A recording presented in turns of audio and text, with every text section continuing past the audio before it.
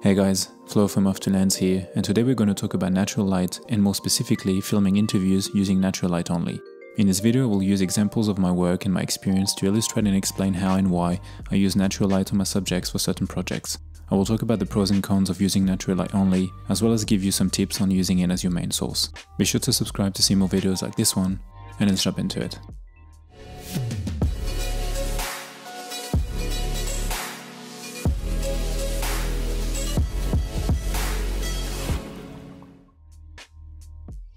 So for my work I get to shoot a lot of documentaries, and whilst they might differ in terms of subject, location and style, there is always one constant, the interview or talking head part. Whether or not you will actually have the frame in a final edit or just use it for voiceover, setting up an interview is always part of a documentary project, as well as copyright or even commercials. As you know I'm a big fan of using natural light only. Part of it is that I shoot a lot of outdoors and travel content, whether it is for work or personal, I tend to have an organic approach for documentary work and only use lights when I have to or when the project needs to, and I try to apply this for my interview frames as well. Talking heads are always daunting when you're starting out, so I thought I would make a video on how I choose to use natural light only for some of my work and why. Here are a few reasons to shoot interviews with natural light only. 1. You don't have the budget to buy or rent lights. Even though LED lights have come down in price in the past few years, buying or renting a light that is powerful enough for interviews can be quite expensive. My go-to light these days, for example, is the Aputure 120D Mark II, which I love, but it comes at 740 US dollars, which isn't cheap. 2. You don't have the time to set up lights. If you have ever shot a documentary, you know that time is of the essence. This applies to pretty much any type of shooting in general, but I find it most relevant and obvious in doing doco work. Setting up lights takes time, energy, and manpower. 3. You're not sure if you will actually use the interview footage. As I said before, sometimes you might film an interview just to have the audio, or if you don't edit your own work, the editor might choose not to use a specific talking head section. In some cases, you might choose to allocate your time for actual shooting, rather than spending time and energy for a frame that will most likely not be used. That doesn't mean that you cannot have a nice interview frame though. I did a series of documentaries around the world for Marriott, and we knew that we will not use the interview frames at all, but we still had to shoot it right each time. 4. You want to have a natural feel. Shooting with natural light always gives that organic look that we can relate to, and the same goes for interviews. If you manage to place and capture your subject with natural light only, it can make for a beautiful frame. 5. The location is beautiful and suits it. Sometimes you will get lucky and the location you find yourself in is beautiful and light is pouring in naturally. In these cases, you might not need to do much to start shooting. Here are a few interview scenes for my own work.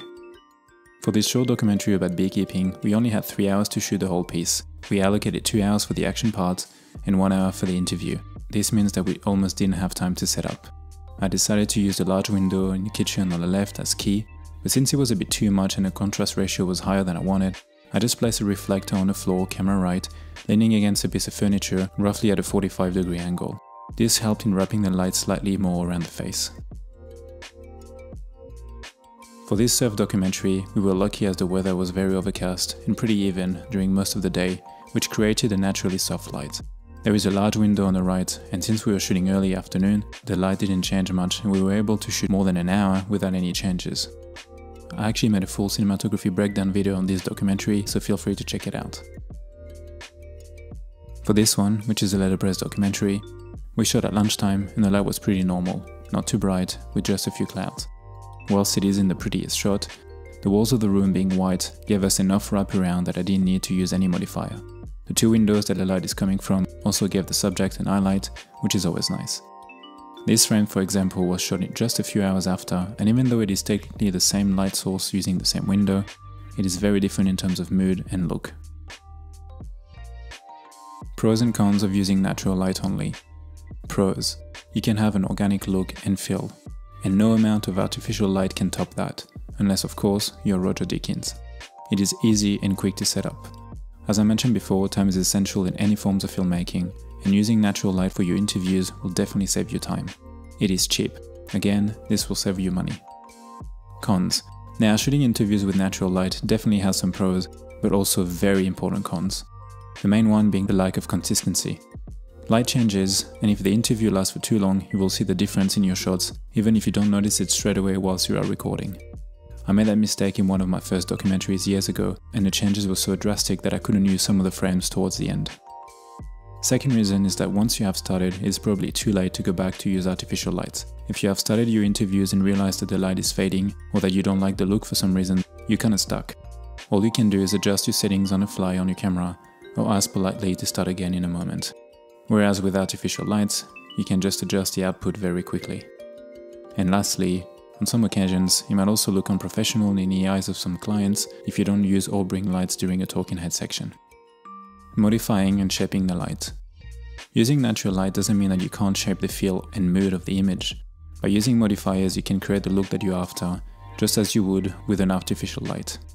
On all my documentary shoot, I always bring a 5-in-1 reflector that I can use as bounce or fill, as well as some diffusion fabric that I can use on windows.